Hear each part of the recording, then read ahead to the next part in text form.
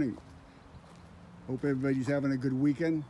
I thought I would do a short video of the woodland area that we've restored or transformed. This is a more grassy area that took three seasons to develop. A lot of work. Uh, I got great help from Daryl Bestler in prepping it. This is no more grass area. This is the front of the woods that is more kind of like an extra savanna area.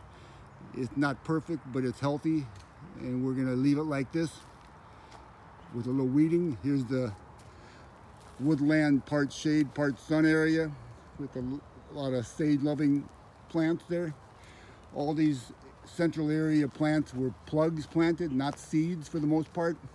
It was labor intensive in order to get color with, with flowers and, and native plants. This is the full sun savanna area. In a month, it will be filled out with a lot of color. You should come out and take a look.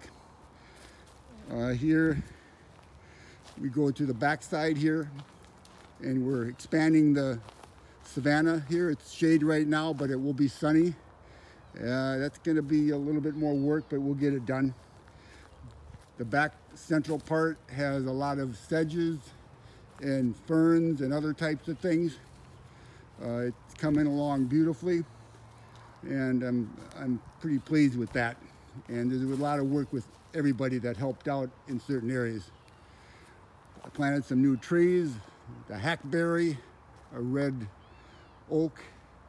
We have an ironwood in the front and we got a lot of variety of trees and plants and grasses and it's going to be going to be really nice in five years once everything ties together so come out in the morning or the afternoon when the sun's out bring your coffee and be at peace.